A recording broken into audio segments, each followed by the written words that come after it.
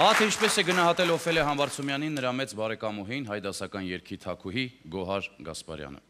Հայ ժողովրդական երկի ուժը, հայ երկարվեստի նրբությունը զգացել եմ Օֆելիա Համբարձումյանի կատարումներից, որոնք զարմանալիորեն ճիշտ են բացահայտում ժողովրդական երաժշտության քնարականության բուն ոգին։ Օֆելիային առաջին անգամ լսել եմ հերավոր Եգիպտոսում, ինչ հայրենիք ներգաղթելս եւ ուրախ եմ, որ իրականացան կռահումներս։ Նա ժամանակի մեծագույն երգչուհիներից է եւ հայ դասական կատարողներից մեկը։ Շերամ, Պարտեզում վարդեր բացված երգում է Արման Հովանիսյանը,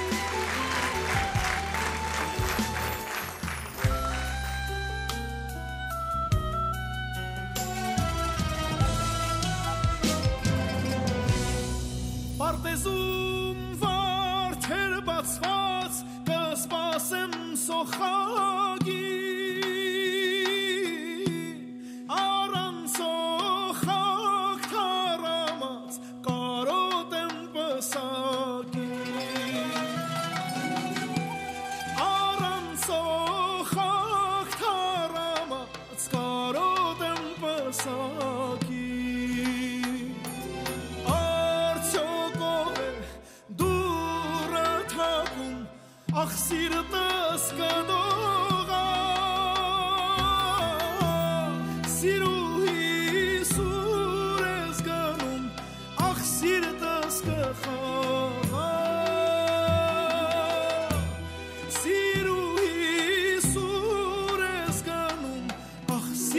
aşkı